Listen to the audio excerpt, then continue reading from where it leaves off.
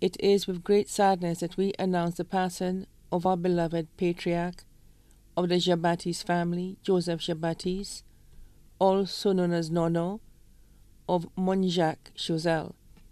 He passed away on Tuesday, March 23, 2021, at 7:45 a.m.